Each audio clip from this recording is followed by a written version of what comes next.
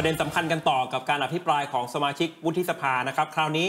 เป้าอยู่ที่รัฐมนตรียุติธรรมบ้างนะโยงกับคุณทักษิณที่จริงสวหลายท่านอธิอธิอภิปราย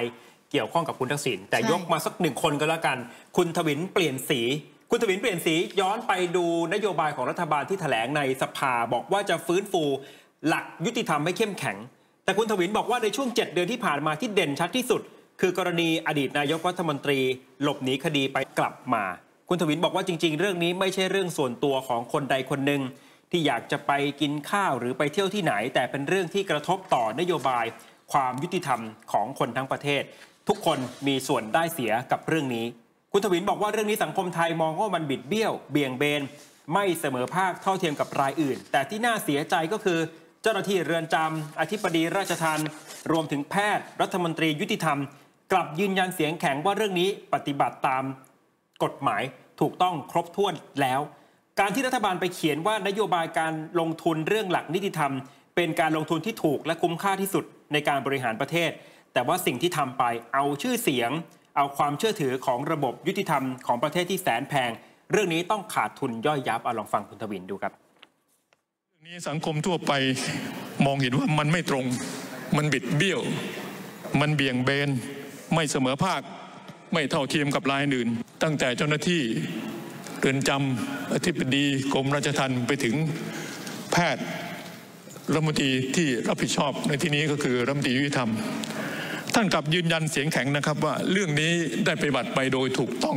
ชอบทำครบถ้วนตามกฎหมายแล้วนะครับ ผมถามว่าท่านไม่สงสัยบ้างหรือ ท่านไม่เอะใจบ้างหรือว่าการแก้โจทย์ของท่านนั้นเนี่ย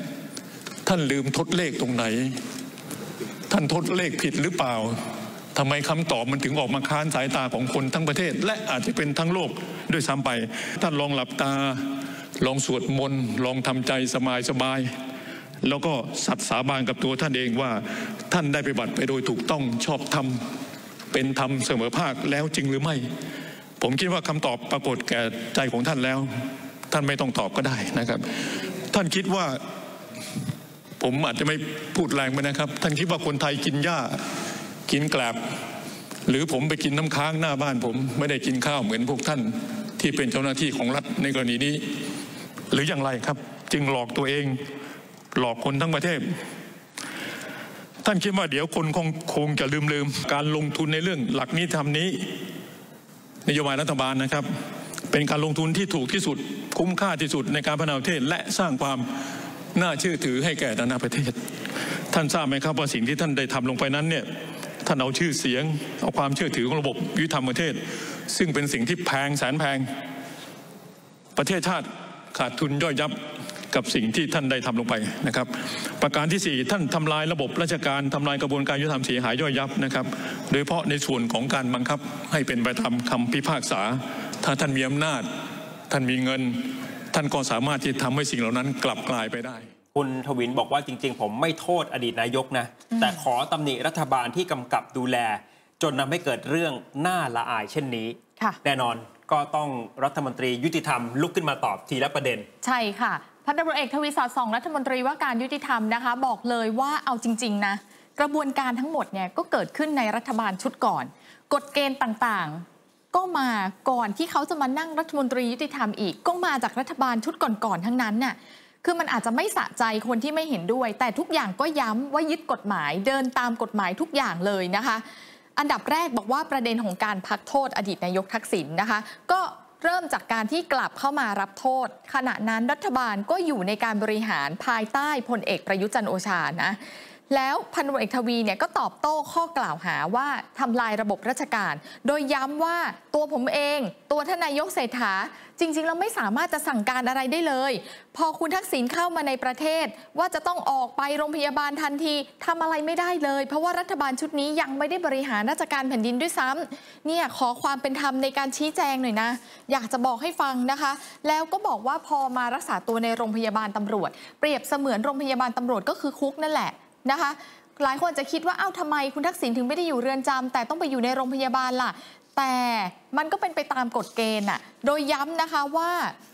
ทั้งการกำหนดโทษที่มันเป็นเรื่องของศาล คือถ้าคุณทักษิณเนี่ยจะจำคุกก็ต้องมีคำพิพากษาก่อนถูกไหม และการรักษาตัวในโรงพยาบาลตำรวจก็เป็นโรคที่ติดตัวมาจากต่างประเทศ ก็เป็นไปตามกฎหมายราชทัณฑ์ส่งไปที่โรงพยาบาล โรงพยาบาลเขาก็พิจารณานะคะ โดยบอกว่า พอมาถึงขั้นตอนการพิจารณาพักโทษ พันตำรวจเอกทวีก็ยืนยันว่าราชทัณฑ์หรือว่ารัฐมนตรีไม่มีอำนาจพักโทษใครอีก คือจะต้องผ่านคณะกรรมการการพักโทษ กฎเกณฑ์ต่างๆ เกิดขึ้นก่อน และไม่สามารถกำหนดเองได้ การจัดห้องพิเศษให้อยู่ในโรงพยาบาลชั้น 14 โรงพยาบาลตำรวจ ตามกฎหมายเขาไม่ได้ให้แพทย์จัดห้องพิเศษให้ เพียงแต่ระบุว่าให้โรงพยาบาลจัดที่ควบคุมพิเศษ ทีนี้พอเขาไปตรวจสำนวนเขาไปเจอว่าคุณทักษิณเนี่ยถูกปองร้ายจากคดีคาร์บอมมาแล้วตอนปี 49 เพราะฉะนั้นก็ต้องป้องกันผู้ต้องขังให้ได้รับความปลอดภัยด้วย ฟังเสียงจังหวะนี้ค่ะ ผมก็เข้าใจว่าในกฎหมาย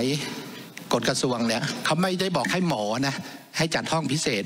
แต่เขาบอกให้โรงพยาบาล จัดที่ควบคุมพิเศษ คือผมก็ได้ไปตรวจสำนวน มันมีสำนวนเหตุการณ์คาร์บอม ผมก็คิดว่าเหตุผลถ้าเกิดมีผู้ไปถูกรอบปองร้ายและเสียชีวิตเนี่ยความเสียหายจะขึ้นขึ้นมากกว่านี้ คือท่านอาจจะบางคนอาจจะมองท่านอดีตนายกทักษิณอีกแบบหนึ่ง ดังนั้นผมอยากให้ดู อย่าไม่ไปสรุปทั้งหมด อยากจะดูแต่ละเคสด้วย อันนี้ก็เป็นเหตุผลลึกๆ ที่ผมผมได้เข้าไปตรวจสอบหมดนะครับ แล้วใบแพทย์เนี่ยผมบางทียังไม่เชื่อต้องให้คุยกับหมอหมอก็ยืนยันจริง ซึ่งซึ่งในส่วนถ้าเปิดเผยได้ ผมก็จะให้เปิดเผยครับ แล้วก็ยินดีให้ความร่วมมือครับอะนี่คือประเด็นของคุณทักษิณนะครับ